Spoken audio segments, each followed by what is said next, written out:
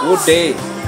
Uh, I just want to let us understand what is happening today. We're having a very good event where we're having a procession where our, our scouts and we have a, the band, the, the, the, the scouts band, and also together with our scouts where we're going to exhibit the talents for our children. Uh, we'll be having a, a, a walk going around the school compound and where are we situated? The school is that goes by the name Young Life, Young Life um, Innovation Center. We are situated in uh, we, are situated in Kariaine village, which is in that location in Juja sub county, Kiambu, Kiambu, Kiambu county. So today we're having a very good procession. You know, kids are very special. Our children need to be supported by every way, by every means.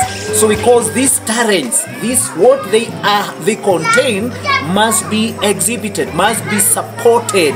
So we today is a day where we are going to celebrate the talents of our scouts together with our teachers.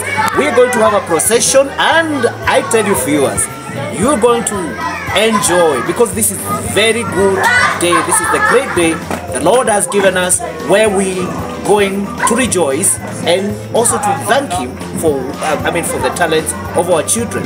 Just to get go together with us, walk together with us. I'm sure that you're going to watch this video to the end.